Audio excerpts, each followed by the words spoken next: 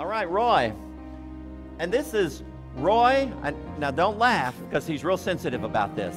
His name is Roy Rodgers. And Roy is a member or is a resident at the Matthew 25 house. Been there a little less than a week. Yeah. And, and Roy is from Blytheville, Arkansas. Hey, we're doing good so far. Two out, two out of two for Arkansas. All right. And so, Roy, you believe that Jesus lived and died and rose again? And you've asked him to give you eternal life?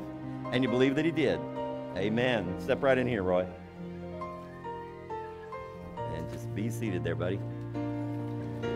All right, Roy, because you believe that Jesus lived and he died and rose again and he's given you eternal life, then I baptize you, my brother, in the name of the Father and of the Son and of the Holy Spirit, buried with him in the likeness of his death, and then raised again to walk in newness of life.